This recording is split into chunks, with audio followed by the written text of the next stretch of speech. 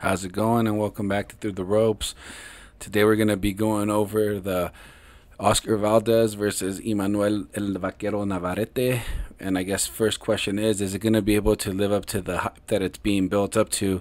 It's getting compared to the the great trilogy that Erik Morales and Marco Antonio Barrera had, and I mean that's going to be pretty big shoes to fill. But I mean to answer the question, I think it definitely has the potential. I mean it's going to be hard to live up to that. I mean last time there was a what's it called a a fight of this magnitude sort of being built up to that was the Oscar Valdez and Miguel Berchelt fight.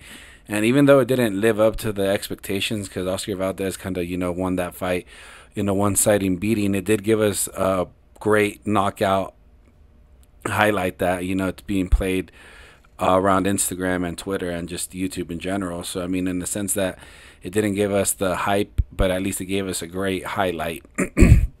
but going into the Navaquero, the Vaquero and the Valdez fight, it's definitely an interesting matchup. I mean, Vaquero, you know, he has a unorthodox style and you know he just comes to bring it. He's gonna put pressure on you. He's gonna be swinging punches from all different angles, and it's gonna very it's gonna make the matchup very interesting. And then on the other side, you know you got uh, Valdez that you know he tries to box a little bit more, but every now and then he will bite down on his mouthpiece and he'll go to war. He'll trade punches with you, kind of like when he uh, fought uh, Quigley, I believe, and he had a broken jaw for six rounds. But I mean, comparing both of their styles, I mean. I think I want to lean towards uh, Oscar Valdez a little bit more on this side.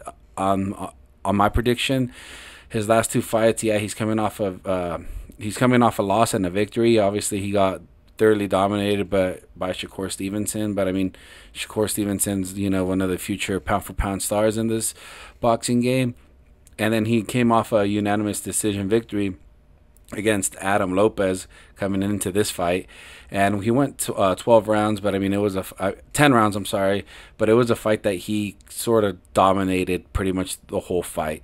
And then Vaquero's last fight, I mean, he did look a little vulnerable. He did touch the ground against uh, Liam Wilson, I believe.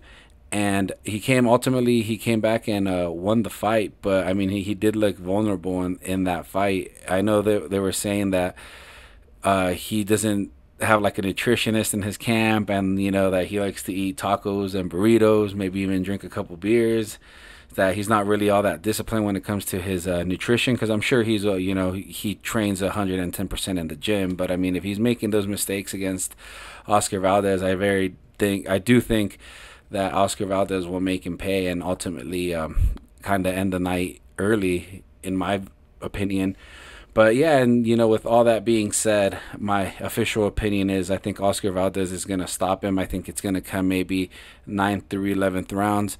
I mean, I could be wrong. Let me know what your opinion is, and just thank you for listening to this video. And like always, make sure to like and subscribe and let me know your thoughts in the video. I mean, in the comment section. If I'm wrong, if you agree with me, just whatever you want to let me know. Thank you.